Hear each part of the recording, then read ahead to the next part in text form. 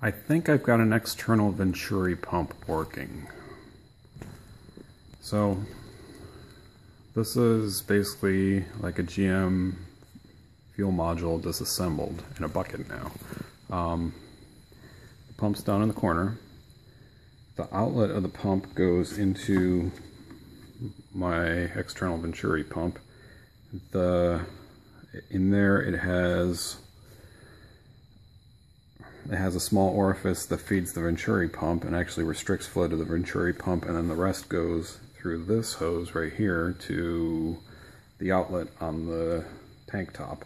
Actually, that's the outlet on the tank top. Right, this is just looped back to the return.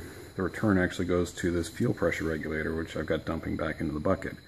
The outlet on the Venturi pump is this right here, and um, if it's working, I should have a discharge over here you'll see that right there um, is going to be bubbling because that's the return from the um, from the fuel pressure regulator. This fuel pressure regulator bypasses at 58 pounds, so I know I'm generating enough pressure to feed 58 pounds there and still feeding the Venturi pump if I've got flow here. Um, I've got all this wired to a jump box right there, which I could just flip on and off and test. So here goes.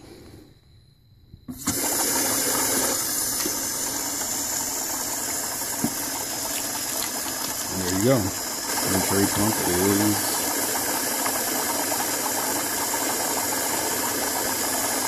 working.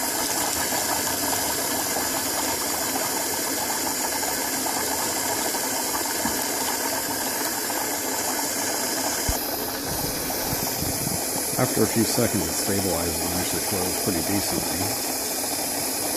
Um, I'm going to take and see how fast I'll actually empty this bucket by putting it into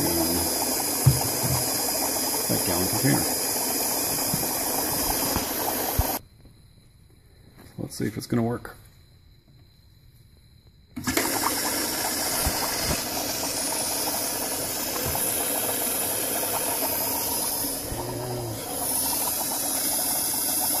You see it's slowly filling up. Actually, it's not that slow.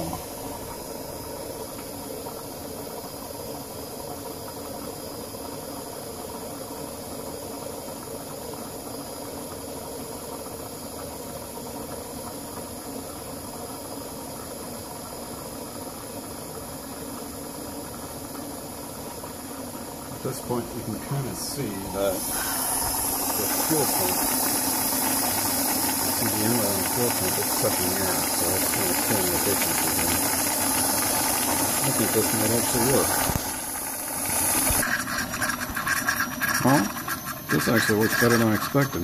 This is how far it sucked the bucket dry before it actually quit. You can actually hear the pump making weird noise. I'm going to shut it off before it burns out. I think I'm pretty happy with this.